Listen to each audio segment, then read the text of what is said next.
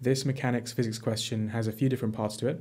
We have some SUVAT, we have a collision where we have to work out the change in momentum, we have forces equal to rate of change in momentum, and then we also have an explanation question on this at the end. Alright, so we have spectacle lenses can be tested by dropping small steel balls onto the lens as shown in figure 3 and then checking the lens for damage. We're given a few different things, the diameter of the ball, we're given the mass, the height at which it gets dropped. So for 4.1 we're trying to work out the density of the steel used for the ball. Density is equal to mass over volume. So then we have the mass, the mass is given to us, that's 16 grams. So that'll be 0.016 kilograms by dividing by 1000. The volume, so this is a sphere, volume of a sphere is 4 thirds pi r cubed. The radius would be 0.008 meters. So that's just dividing this by 2 and then dividing it by 1000. So then we can put this in. So our volume would then be 4 over 3 pi times r cubed, so 0.008 cubed, and that gives us 7460. Right, so for part 2, in a test the ball bounced back to a height of 0.85 meters. So remember that what's happening here is that we're dropping the steel ball, it collides with the lens, and then it bounces back up. We know we're dropping it from a height of 1.27 meters, so actually, if we want to work out the speed just before impact, then what we're going to have to do is consider the distance it falls rather than the distance it bounces back up to. The distance it bounces back up to depends on the material that it collides with, but to work out what the speed will be just before impact, we'd have to know the distance that it falls. That distance would be the 1.27. It says in the question that it's just dropped. It says that over here, it's just dropped. It's not thrown down or projected down, it's just dropped. So then the initial speed would be zero. So the reason that I'm using SUVAT is because in this scenario, we have constant acceleration. The, it's in free fall. The acceleration would just be 9.81 downwards. So let's say the downwards direction is positive. A is then 9.81 positive. And we're trying to work out the speed just before it hits the ground. So we can use v squared is equal to u squared plus 2as.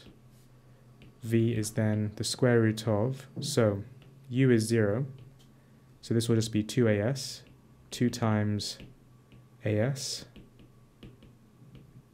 and that gives us 4.99 meters per second.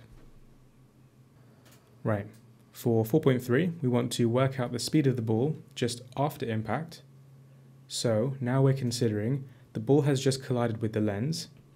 It's now going to be traveling up after the collision with a certain speed that I'll call u. It then rises up to a height. The height that it rises up to would be, we're told from earlier, is 0.85. So this will be 0.85 meters. The speed at the top, if we're looking for, if we know that the maximum height is 0.85, the speed at the top will be 0. So that will be our final velocity. V would be 0. And then we can use SUVAT. So initial speed is what we're trying to work out. Let's say that upwards is positive. Acceleration is then minus 9.81. Final speed is 0. Displacement is positive 0.85. That means we again use v squared is u squared plus 2as u squared is then, so v is 0, so v squared is 0. So u squared is minus 2as, which is minus 2 times minus 9.81 multiplied by 0.85. So if we type this in, and then we square root both sides, because that's what u squared is equal to, so then we can square root both sides to get u. And we end up with 4.08. So that is the answer to 4.3. For 4.4, calculate the change in momentum of the ball due to impact. So change in anything is always the final of that thing minus the initial of that thing. So final momentum minus initial momentum. So this will be equal to the mass of the object times its final velocity minus the mass of the object times its initial velocity. So I can factorize out the mass, that's the same. It's the same object, so the mass is the same, that doesn't change. We get this. Now for these kinds of questions, a very common mistake is to forget that velocity or momentum is a vector, or velocity and momentum are vectors. So we need to consider the signs of Vf and Vi. So again, whenever we're considering vectors, we have to define a positive direction. I'll just say upwards is positive for no reason, just we have to pick a direction and stick with it. So the final velocity will be the velocity after it hits the lens. That was the 4.08. Positive because it's going upwards. And then the initial velocity is what we had down here, 4.99. That's the velocity just before it hits the lens. That will be negative because it's going downwards.